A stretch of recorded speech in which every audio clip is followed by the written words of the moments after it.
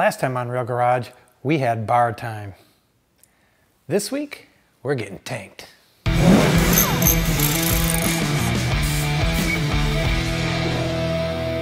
Today I'm going to make a custom aluminum dry sump engine oil tank that's going to fit where the side air box was before I cut them out on season 3 episode 6. Now this is pretty much dead space, but it's the perfect spot to hide a large oil tank. The first thing I did before taking the fender off was make some templates for this odd shaped tank. I thought about using a taller round tank, but that's just not gonna give me the capacity that I need. But this custom tank, that should easily give me 10 quarts. Next is transfer these templates to my material. For the outside of this tank, I plan on using four pieces. 090 thick 5052 for the sides and 3 16 6061 for the top. So I plan on bending one side and the back. With 5052 aluminum, it's important to keep in mind the grain structure when bending, and that's going to determine how you place your template on your material. 5052 can experience stress cracking when bending. Here's a real scoop on how to determine grain direction and some bend examples.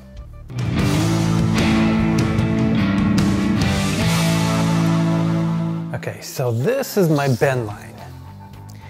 Now I want to make sure that my grain direction is running against that bend line. If I make my bend with the grain, the grain boundaries are the weakest at that point and you could experience that stress cracking we talked about. However, bending against the grain is going to give you the strongest bend.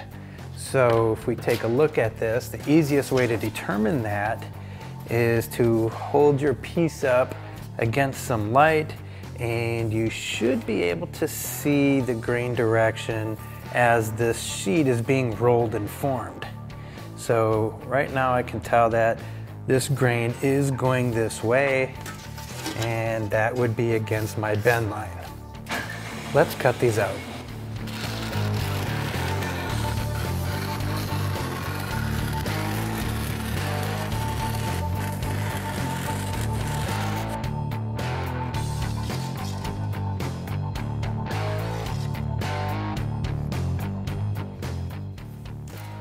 Bending this to 90 degrees. The pocket this will fit into is not square to the body. I'll be squaring my sides on the tank to make it easier to build, which means it probably won't mount perfectly straight in the car. This isn't a problem since it will be behind a crush panel or a wheel well anyway. Warning, read and follow all labels and your owner's manuals. I clamp my two sides together closer to the top edge. This ensures the side that needs welding won't ride up on the radius bend, which would make it higher than it really is.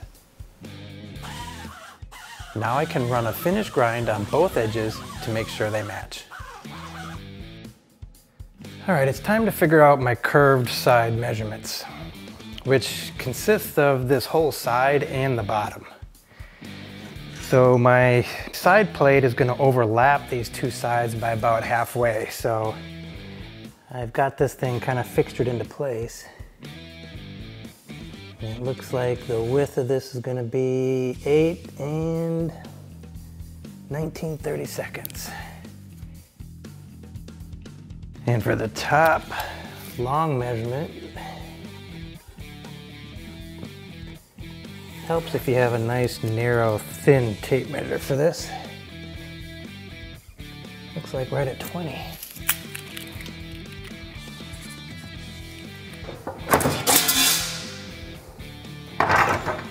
That's some tough stuff. Before welding all these sides together, I'm gonna drill all the holes for the weld-on fittings. I'm gonna be using number 12 fittings for all the oil lines and number 10 for venting to the breather tanks. Now these number 12 fittings I got have a 0.787 step shoulder for centering them in the hole. 0.787 is 20 millimeter.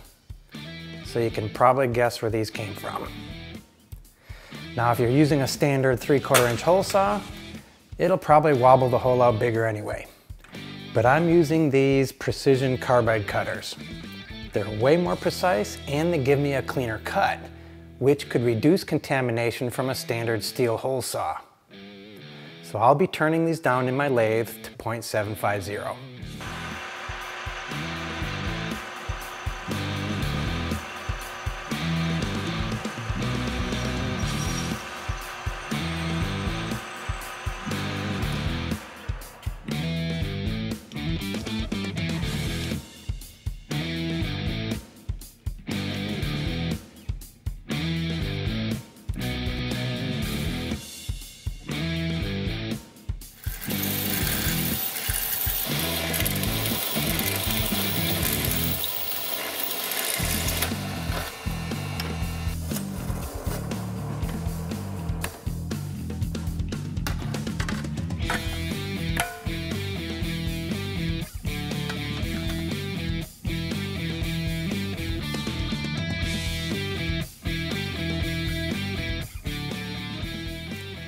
Okay, I've got my holes drilled and deburred. Now it's baffle time. The baffles play an important role inside the tank. They de-aerate the oil and provide slosh control, which is important especially under hard cornering and braking because you don't want that oil to push up into the vent lines. I'm making a set of four baffle chambers. One set near the top to help block oil from getting into the vent hoses and three for de-aerating and slosh control, which will have a variety of hole sizes. Starting from the bottom up, the first and second chambers will have a center baffle with a top plate. The third will be a perforated plate with a butt ton of smaller holes. Time to exercise the Rotex.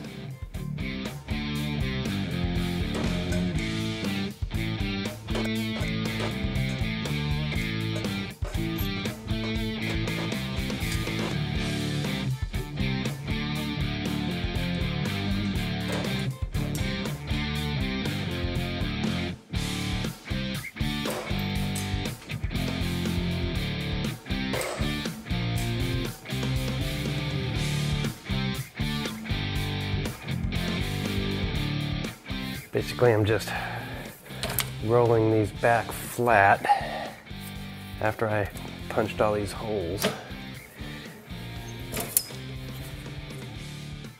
So now that I got all my baffles cut and punched, it's time for me to weld on my fittings. And I like to do this now because, especially with the fittings with the countersunk shoulder on them, I like to be able to weld them from the back side and the front side. So I've got my number 12 fittings for my return lines and my oil out. And I also have one more weld-on bung that I'm gonna put in here, and that is a half inch NPT bung. And it's going right there. The purpose for that bung is because one of my favorite pet peeves about most oil tanks is that you can't tell how much oil's in it.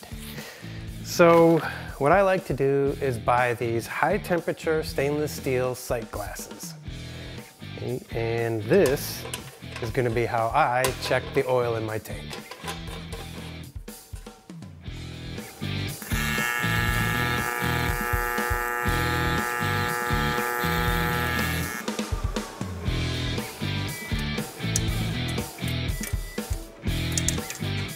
Here's a quick little homemade tool for you. I use this to uh, basically clamp these fittings into place. So it's basically just a quarter inch bolt with a washer slipped on top of it and a smaller washer welded to the end. So it's basically just a little clamp.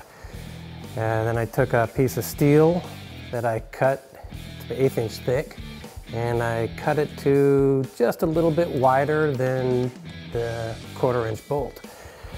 So that will help hold this in place. And what I like about it is this little strip of metal is thin enough that it allows me to tack the inside or obviously the outside.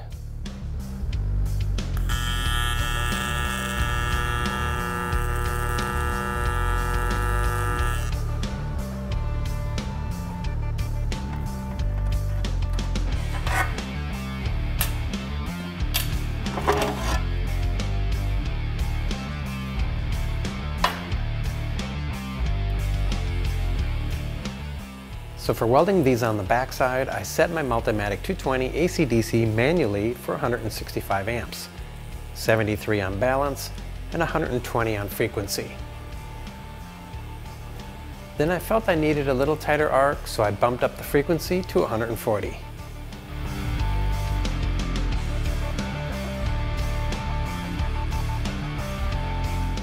For welding the top side of the fittings, I turned my amperage up to 175, although I really could have used 180 or a little more at the start. I also set my balance up to 75 to reduce the cleaning zone on the fillet weld, and I widened the arc puddle by setting the frequency down to 110. For both the bottom and the top welds, I used ER4943 filler metal. The 4943 is a better filler metal for high temperature applications. I used 1 16th filler for the backside and 332 for the top side. Okay, this is where I'm at. I basically welded the bottom parts for the bottom two chambers together. And I've wire brushed and cleaned my weld areas on the inside of the tank. Also, I took the opportunity to start clamping this thing down tight so it doesn't warp when you're welding on it. I clamped it down to the table and I also clamped an angle piece on the long side and another piece vertically here. Aluminum does warp if you get it hot enough. And this doesn't have to be welded solid. I'm just putting down a few stitch welds here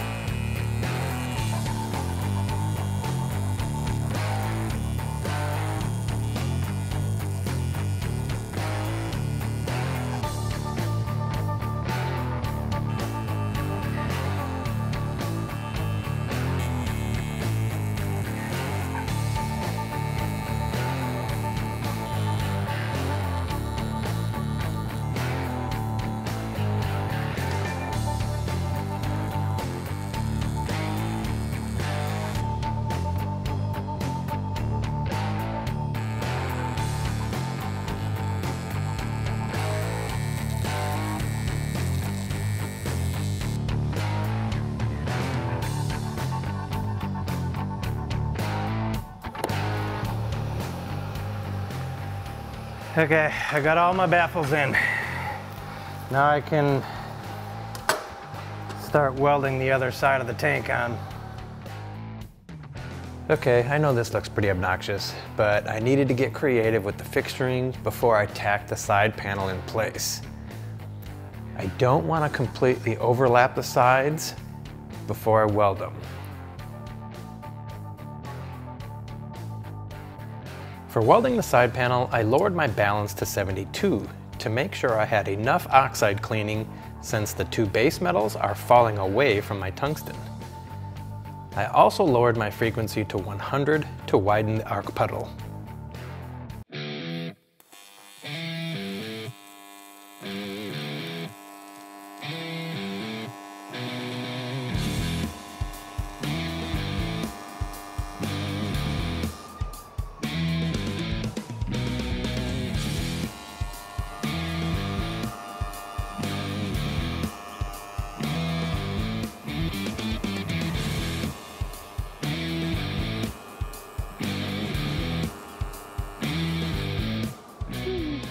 Okay, sides all welded on, baffles are all in place.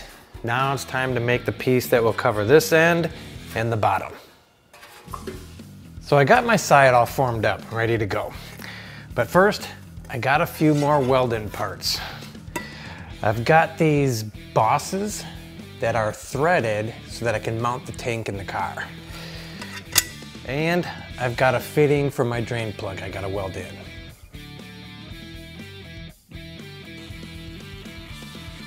Because I saw on some of the other welds there was a little bit of peppering in the weld. And that peppering usually is an indication that there's some oxide still getting drawn into the weld, so I lowered my balance down to 70.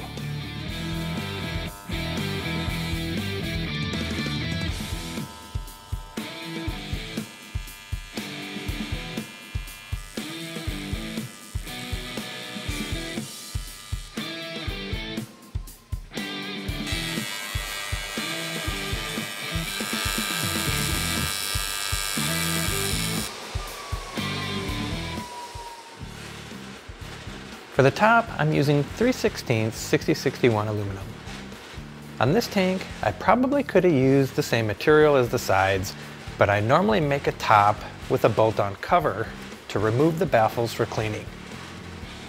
On this smaller tank, I decided to just use a couple of inline filters on the oil return lines.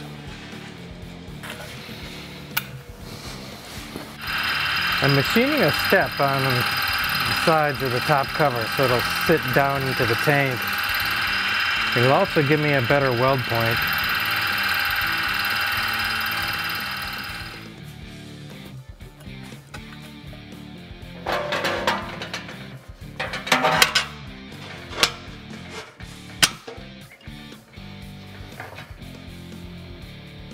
That is yummy. Fits perfect. Now let's just cut some holes for my breather fittings and my fill tubes.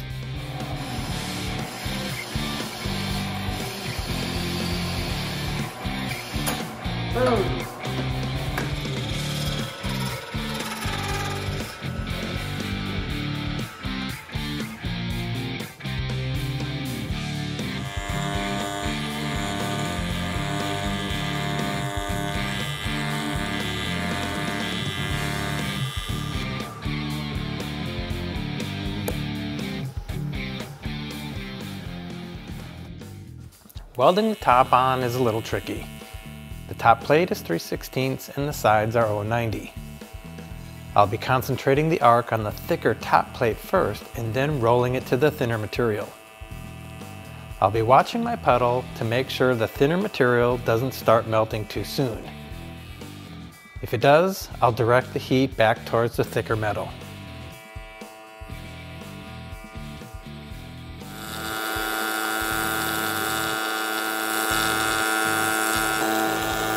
This is where you can see that thick top plate. I've really got my torch pointed more towards that thicker top plate because this thinner piece is melting quite a bit easier, which it's already hot because I've been welding on it, so that's making my problem worse.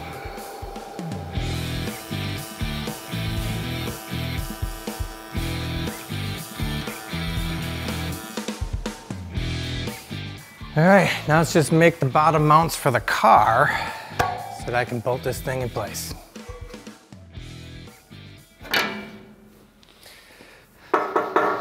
Well, we're done. Well, for the most part. I still gotta make the top mounts for the tank, and I'll do that once I figure out where I'm gonna run my vent hoses. Stay tuned for season five of Real Garage, where we take this party inside.